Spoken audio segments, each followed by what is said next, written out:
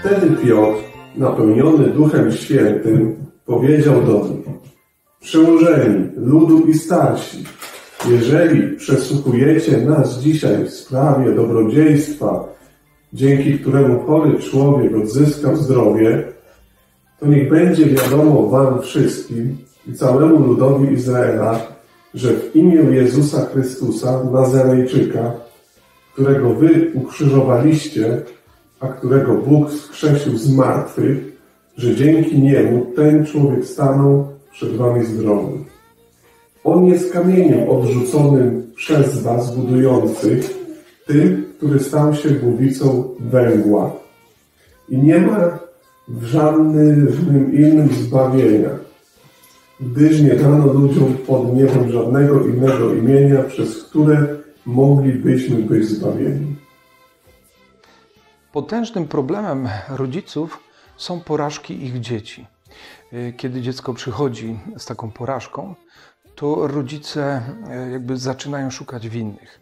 Myślę, że e, warto, zanim znajdzie się winnych, warto poszukać natury tej porażki, ale równocześnie warto z dzieckiem porozmawiać na ten temat, że skoro zostało stworzone przez Pana Boga, to Pan Bóg włożył w jego serce taki dar, który, taką cechę, taką umiejętność, przy pomocy której ono może być najlepsze, ono może odnosić sukcesy i ono może pokonywać wszelkie trudności.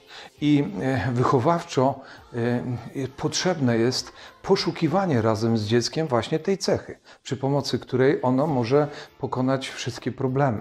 Można wykorzystywać tutaj przykłady właśnie tych odrzuconych, tych, tych niezauważonych, którzy potem zatriumfowali. W literaturze oczywiście jest to Kopciuszek, który ułożył sobie życie. W popkulturze Nick Vujicz, zwłaszcza pokazany w filmie Cyrk Motyli. Link do tego filmu umieszczę pod, opis, pod obrazem. I, ale przede wszystkim na Pana Jezusa, który stał się y, y, kamieniem węgielnym odrzuconym przez budujących. Okazało się, że to on był największym budowniczym w dziejach świata, bo zbudował kościół, którego bramy piekielne nie przemował.